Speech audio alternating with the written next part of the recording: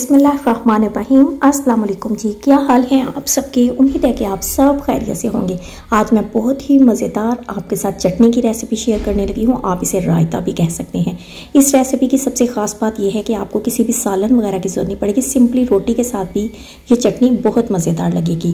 बिस्मिल्लाह करते हैं रेसिपी की तरफ़ आते हैं। सबसे पहले मैंने ले लिए हैं टमाटर। टमाटर जो है, तकरीबन मैंने आधा किलो लिए हैं। अच्छा जी, आपने कोशिश करनी है कि टमाटर रेड कलर के हो, क्योंकि रेड कलर के टमाटरों के साथ ये रेसिपी बहुत अच्छी बनेगी। वैसे भी आजकल टमाटर का सीज़न है, टमाटर बहुत प्यारे बाज़ार में आए हुए हैं। अच्छा जी, टमाटरों को मैंने सेंटर से कट किया है, इसके ऊपर से मैंने कटिंग कर दिया। जस्ट इसी तरह हमने टमाटरों की कटिंग करनी है। तकरीबन ये पाँच से छः अदद टमाटर हैं। अच्छा जी, सारे टमाटरों की कटिंग हो गई। इधर जनाब, हम एक पैन में तकरीबन दो टेबलस्पून मैंने ले लिया है कुकिंग ऑयल। इसमें हाफ़ टी स्पून हम डालेंगे राई दाने का, हाफ़ टी स्पून ज़ीरा ऐड करेंगे और जनाब पाँच से छः अदद मैंने ले लिए हैं लहसुन के जब्बे इन सारी चीज़ों को हल्का सा हमने फ्राई करना है। ये हम फ्राई करेंगे। इससे ये होगा कि हमारी रेसिपी में बहुत अच्छा एक ख़ास फ्लेवर आएगा। राई दाने से वैसे भी एक खट्टापन आ जाता है, एक अचारी फ्लेवर आ जाता है। अच्छा जी, ये सारी चीज़ें फ्राई हो गई। अब टमाटर जो कि हमने सेंटर से कट किए थे, टमाटर इसमें ऐड करेंगे। हाफ़ टी स्पून हमने इसमें नमक ऐड कर देना है।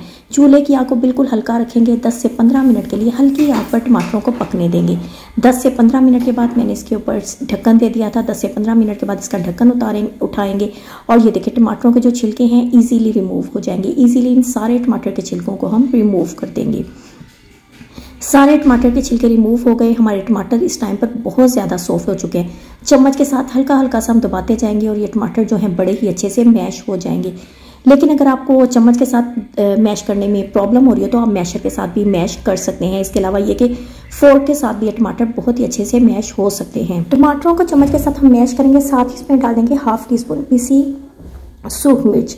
और जनाब, हम टमाटरों को अच्छे से मैश करते जाएँगे। साथ में टमाटरों के अंदर जो बहुत ज़्यादा टमाटरों का जूस है इसे भी हम खुश्क कर देंगे। ये देखें, इस तरह से ये टमाटर हमारे झटपट से बहुत ही अच्छे तरीके से इनके अंदर से पानी खुश्क हो जाएगा। इसके अलावा हमारे टमाटर जो है, अच्छे से मैश हो जाएँगे। अब ये टमाटर जो है, इन्हें हम ठंडा कर लेंगे। ये देखें, एक प्लेट में मैंने डाल दिया था और बहुत ही अच्छे से इस टाइम पर ठंडे हो चुके हैं। अब मैं इसमें डाल दूँगी, एक मैंने खीरा लिया था, इसे चॉप कर दिया है। खीरा इसमें ऐड करेंगे, एक मीडियम साइज़ का प्याज लिया है। प्याज को चॉप किया है प्याज ऐड करेंगे, थोड़ा सा सब्ज़ धनिया, बारीक कटिंग की हुई है, सब्ज़ धनिया ऐड करेंगे, दो सब्ज़ मिर्च ली हैं, इनकी भी मैंने बारीक कटिंग कर ली है। इन सारी चीज़ों को हम अच्छे से मिक्स कर देंगे।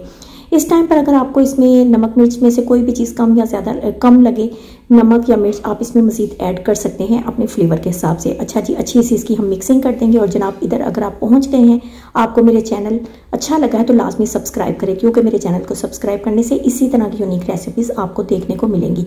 वीडियो अच्छी लगे लाइक लाजमी कीजिएगा, मुझे अच्छे अच्छे कमेंट्स लाजमी दीजिएगा। लास्ट में मैंने इसके अंदर चिली फ्लेक्स और थोड़ा सा पिसा सूखा धनिया ऐड कर दिया। इससे इसका फ्लेवर बहुत अच्छा आएगा। सारी चीज़ों की हमने अच्छी सी मिक्सिंग कर दी है और जनाब आप इसकी लुक देखें, बहुत टेस्टी ये रेसिपी रेडी हुई है। आप रोटी के साथ खाएँ, पराठों के साथ खाएँ, दोपहर के टाइम में खाएँ, गर्मियों में ऐसी रेसिपीज़ बहुत टेस्टी लगती हैं, बहुत टेस्टी चटनी है। अपना बहुत सारा ख्याल रखिएगा, अपनी दुआओं में याद रखिएगा। अल्लाह हाफिज़।